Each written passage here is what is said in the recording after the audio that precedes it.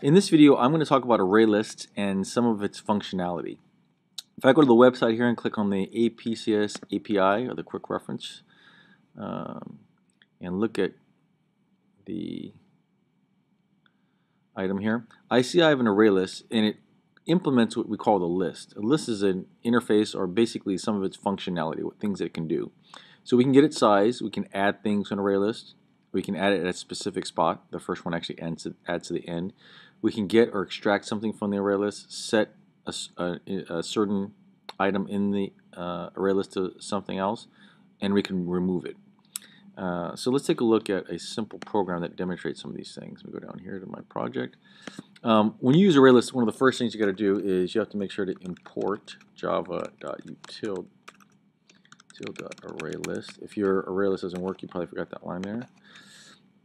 Then to create, create an array list, we say array list, and we tell it what type we want to put in. So I'll say strings for this one. Okay. I'll call it songs new array list of strings and open close parentheses. All right. So one of the first things you can do with an array list is find out what its size is. So let's do that. Let's print out system system.out.println songs dot size put some text there. The length of the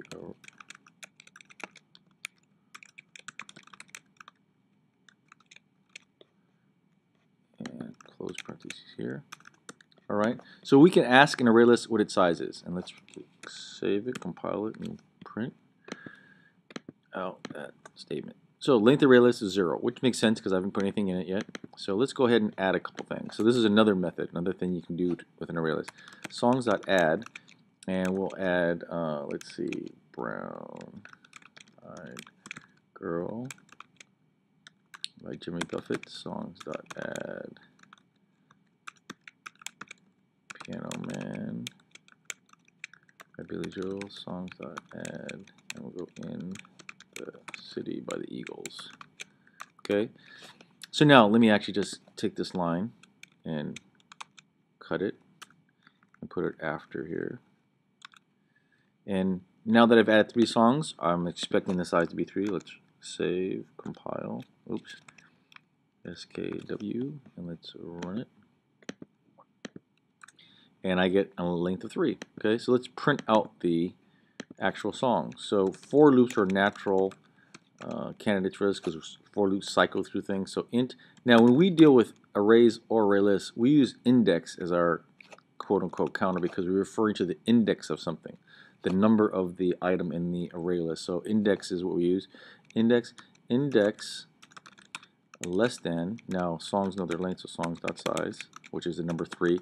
We never put a number in there. We never put a number like 3 or 4 or 5 because if the array's length ever changes, so we add more things or remove things, we're going to have to update that number. This, if you add or delete, it will update automatically. So that's an important thing to remember. 1, 2, 3, and 4.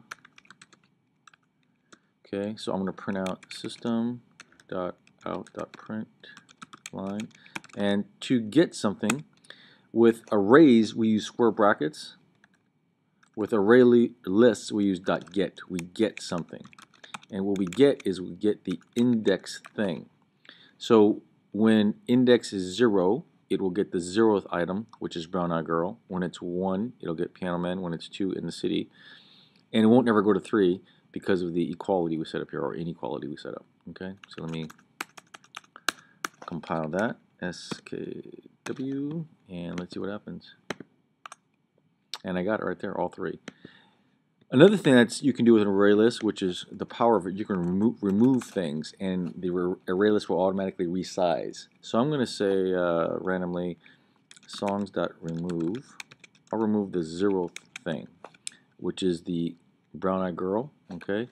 And then I'm going to then copy this Okay, and just so we don't get uh, confused, system dot out dot println printing after removal. Okay, And I'm going to add a couple extra new lines in here, backslash n, backslash n, that's like a, a, a return, so we can get some separation between the two printouts. Um, let's run that, skw, and let's run it. And so here are my three songs, and I removed the zeroth item, and I was able to see that there's only two, okay? And finally, let's do one more thing here. Let's go uh, songs.add and we're going to add a new new song. I'm at a new string. I'm going to say uh, one love. Okay, so I've added it. Now add adds to the end. Okay, so now we're back to three items. Okay, and it should appear at the end. So I'll print. I'll copy this now, and I'll print a, another time. And this is printing after addition. So we're going to add one song. And S, K, I forgot to parentheses here. Okay. I'm going to go through, use the same for loop because I don't need to adjust the uh, size. It knows the size is, is, is uh, incremented by one. And I'll use the same line of code there. SKW and run it. And there we go. Piano Man in the City and One Love was added at the end. Um, so there's a number of methods you can use here, and you can test out these other ones that I have here with add with two parameters. You can add a specific thing at some place. Uh, but in a nutshell, you can see how the um, methods are called for an array list. It's the name of the array with dot, a word like add, or remove, uh, or add again, and then get. So those are the ones you'll use a lot in this class and on the AP exam.